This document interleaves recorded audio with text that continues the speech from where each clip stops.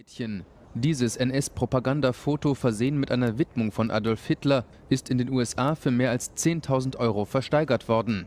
Die Aufnahme zeigt einen lächelnden Hitler, der, wie es heißt, die damals sieben Jahre alte Bernhardine Nienau zu seinem 44. Geburtstag 1933 auf dem Berghof am Obersalzberg umarmt.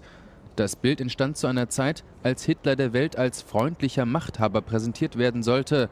Aufgenommen hat es der Fotograf Heinrich Hoffmann, der seit Hitlers gescheitertem Putsch 1923 als Leibfotograf zu dessen enger Entourage gehörte. Fast alle Nahaufnahmen von Hitler stammen von Hoffmann. Er inszenierte zahlreiche Fotos, die den Diktator als gütigen Familienmenschen zeigen sollten.